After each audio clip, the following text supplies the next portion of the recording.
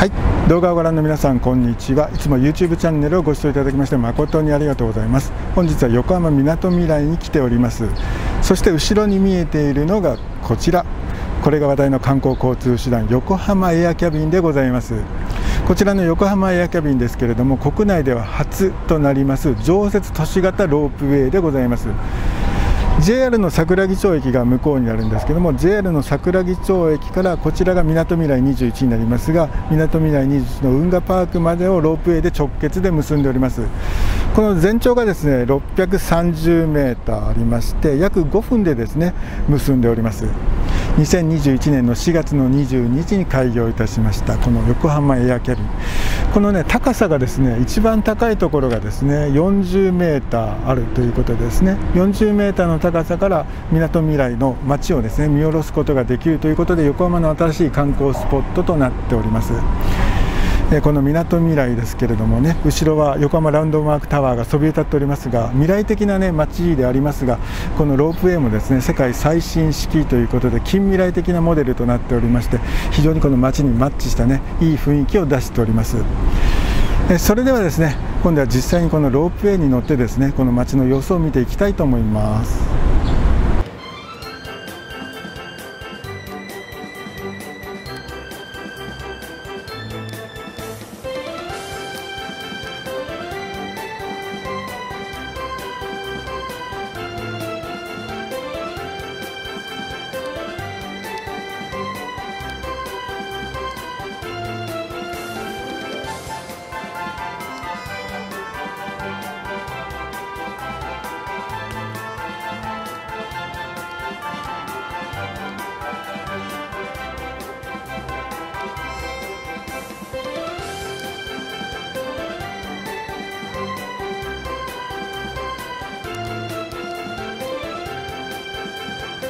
まるでスキーのリフトのようにね どんどん来ますね。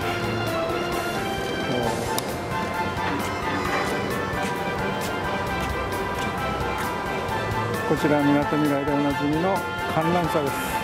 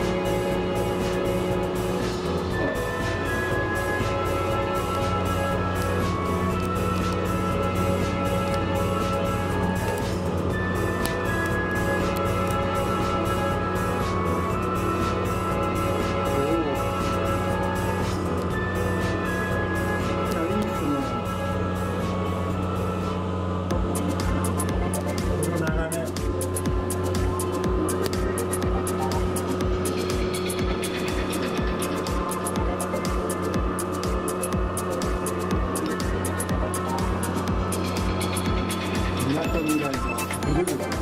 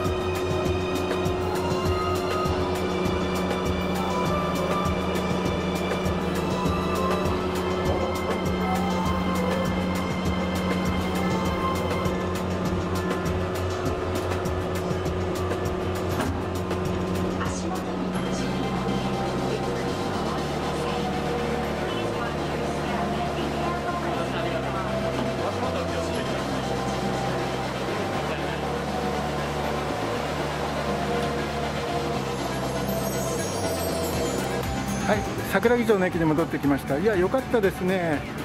横浜エアーキャビン、日本初の都市型ケーブルカーでございます。皆さんもですね、横浜に来た時はぜひ乗ってみてはいかがでしょうか。それではまた次の動画でお会いいたしましょう。ご視聴ありがとうございました。バイバイ